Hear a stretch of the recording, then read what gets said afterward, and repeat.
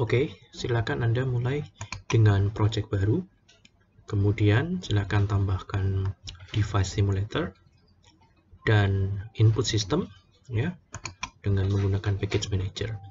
Kemudian kita pasang device simulator ya gunakan landscape ya landscape font uh, seperti ini contohnya karena kita akan membuat game yang uh, tampilannya landscape Jangan lupa untuk men-setting juga uh, input system di analysis um, input debugger kemudian Anda aktifkan simulate touch input from mouse and pen ya.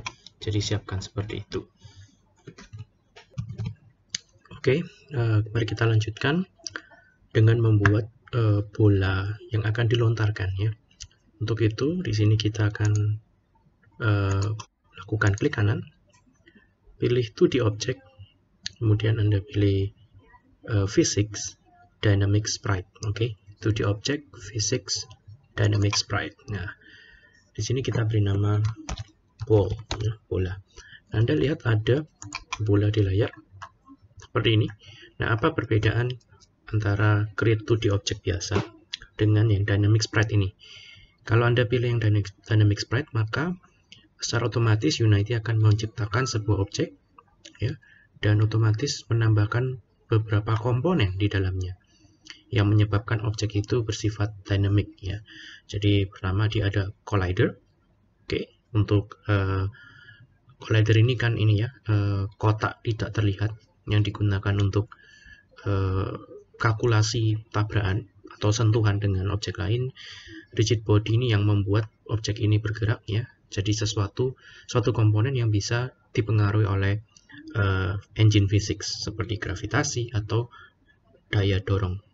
Oke, jadi otomatis sudah ada komponen-komponen yang disertakan ke dalam objek ini.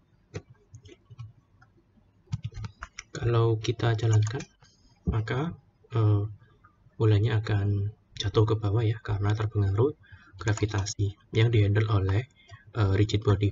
Nah, kita akan ubah dulu warnanya menjadi merah, teman-teman kemudian kita siapkan lantai di bawah sini. Ya klik kanan di hierarki. To the object sprite square. Oke okay. kita bikin uh, floornya ya atau ground atau floor. Oke. Okay. kita uh, buat agar skalanya besar 50-20 kemudian teksnya di 0 y nya mungkin 14 ya uh, sorry minus 14 nah seperti ini Oke, kalau Anda merasa ini kurang pas, Anda bisa naikkan atau turunkan seperti ini. Uh, warnanya saya set hijau, ya, seperti ini. Oke, kemudian uh, supaya ada collision dengan bola, maka groundnya harus diberi komponen ya. Di sini kita beri komponen uh, collider, tapi kita pilih yang box collider. Oke, Nah, kita akan coba jalankan. Ya. Nah, kita akan bikin bolanya memantul. Oke. Okay. Oke, okay, untuk membuat bolanya ini menjadi bouncy, uh, apa namanya, uh, bisa melontar-lontar begitu ya, bounciness ada bouncinessnya, maka Anda harus menambahkan material di sini ya. Oleh karena itu, kita siapkan dulu filenya klik kanan uh, create folder. Beri nama materials.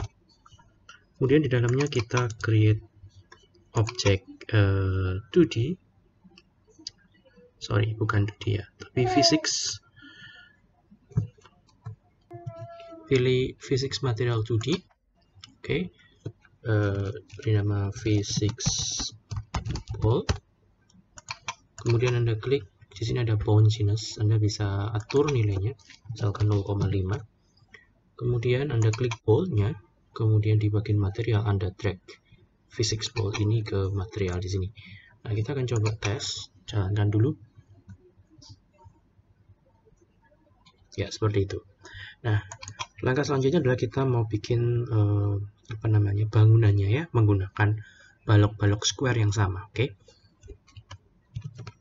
Oke, okay, kita uh, buat sebuah uh, balok lagi ya. kita uh, kita akan pilih square lagi di sini. Oke kemudian kita akan scale. Sedikit y nya kita scale. Oke kita akan ganti warnanya menjadi coklat ya. Seperti ini. Oke. Lalu kita akan atur apa posisinya ya oke sebentar ini seperti ini ya oke ini kurang kurang tinggi ya nah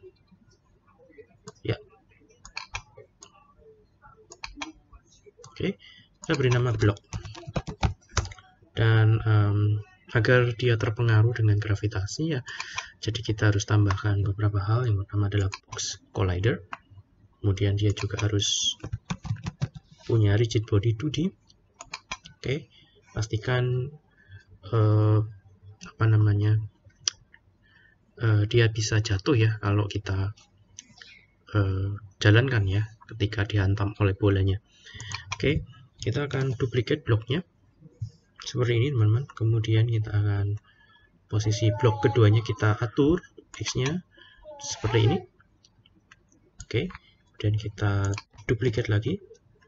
Kita atur posisi y-nya ke atas seperti ini. Kemudian rotasinya kita miringkan 90 derajat. Ya, seperti ini. Scale-nya kita besarin kali. Panjangin ya. Nah seperti ini. Oke. Ini anggap lantai duanya ya teman-teman ya seperti ini. Kemudian setelah itu kita akan duplicate semua. Kemudian kita geser ke atas seperti ini oke kemudian kemudian kita pindahkan yang paling atas ke sini nah seperti ini oke kita coba apakah ter um, kita lihat ya ini kan bangunannya ada semacam ronggang-ronggang ya. Nah, kalau kita jalankan eh, bangunannya terpengaruh gravitasi sehingga nanti kita akan coba tabrakan dengan si bola agar bangunannya eh, roboh, oke? Okay? Oke, okay, langkah selanjutnya kita akan bikin pivot, titik titik pivot ya, di mana kita akan membuat spring joint semacam uh, koneksi antara bola dengan pivot tersebut sehingga kita bisa mensimulasikan banyak hal misalkan slingshot atau breaking ball gitu ya uh, di mana bolanya akan terikat dengan titik pivot tersebut. Oleh karena itu kita ciptakan objeknya 2D object sprite lalu pilih sorry fisik ya fisik kemudian pilih static sprite.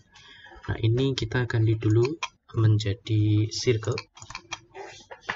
Sorry ya kita kita rubah dulu bentuknya menjadi circle. Saya ulangi lagi sebentar ini circle oke kemudian kita tidak perlu collider teman-teman jadi kita remove collidernya kemudian uh, pastikan body type-nya static untuk warna saya set hitam dan agak transparan ya karena ini hanya digunakan sebagai titik acuan atau titik pivot. Uh, scale-nya kita kurangin 0,5 0,5 0,5 oke kemudian kita atur posisinya agak di atas seperti ini. Oke kita geser seperti ini ya uh, mungkin terlalu kecil ya 0,7 0,7 0,7 sedangkan bola merahnya kita geser juga ke belakang sedikit dan atas nah kita akan bikin apa ya semacam spring joint, semacam koneksi tali begitu ya. Tali yang bisa melar juga. Kemudian kita akan coba uh, menghancurkan bangunan ini dengan melepaskan bolanya seperti seperti breaking ball ya. Oke, untuk menambahkan uh, spring joint, caranya adalah Anda tinggal klik bolanya dulu. Oke, kemudian Anda add komponen di sini. Carilah spring joint.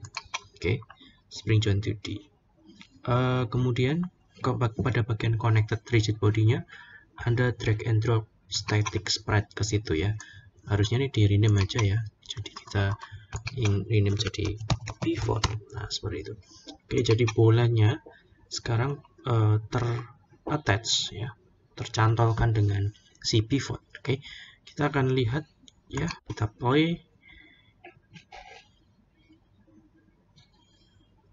Ya seperti itu. Nah ya teman-teman bisa lihat. Jadi seolah-olah ada semacam uh, tali penghubung yang tidak terlihat antara si bola merah dengan si pivot oke? Okay? bila bila ini ingin anda bisa atur berbagai macam properti di sini ya distance ini adalah jarak antara pivot dengan bola di mana uh, jaraknya uh, berubah akan berubah sesuai uh, posisi awal bola tersebut Oke, okay? damping rasio ini untuk memperlambat ya ada semacam rem begitu ya uh, yang mengurangi velocity dari bolanya. Oke, okay? dan Anda bisa coba yang lainnya ya supaya uh, Anda bisa mendapatkan uh, simulasi yang Anda inginkan.